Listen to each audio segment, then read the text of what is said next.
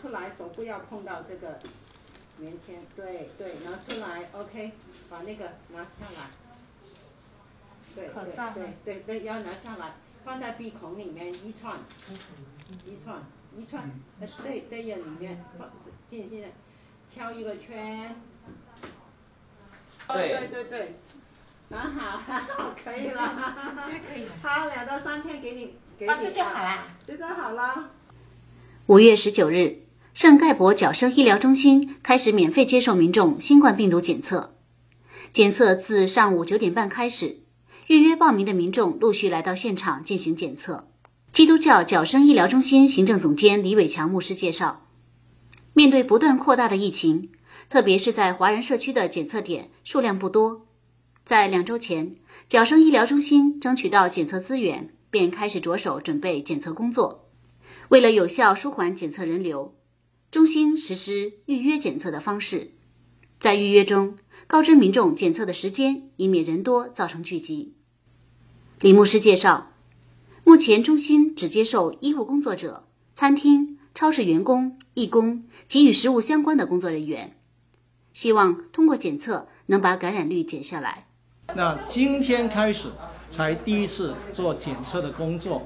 那么我们为了不要太过多的呃这个感染的机会，所以呢，我们把这个检测叫预一早就预定，而且呢，目前来讲，我们只提供给那些的必须工作的人员。所谓必须工作的人员，这个 essential worker 就包括医疗人员、社会工作者，就是社工，还有在超市、在啊餐馆、在管理食物的工作人员，因为他们是不断接触不同的人，我们希望透过这个检测，以致那些知道自己有感染的人，他不会到到处跑啊。我们就希望透过这样的工作，把这个感染率尽量的拉下来。那么民众来的时候，他要先打电话来预约，完我们初步取得他的资料，就不会浪费太多的时间。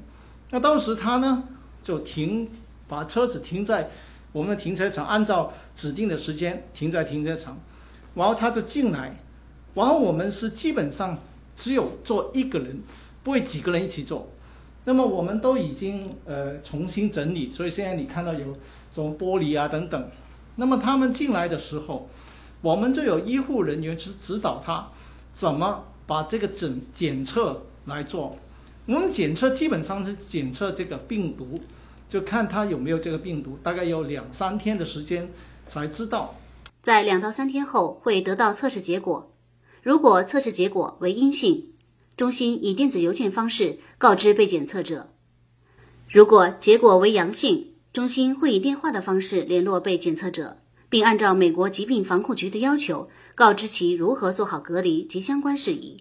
也有民众因接触到虚假报道而对检测产生畏惧心理，更有甚者认为接受检测反而会感染病毒。基督教矫生医疗中心行政总监李伟强牧师表示，很多错误的信息使得民众不敢接受检测。他们在网上呃或者在电视上看到很多呃不是很正确的消息，比如说他说还有很多检测是不对的，是吧？这个这个这个正确率是不对不经常错的。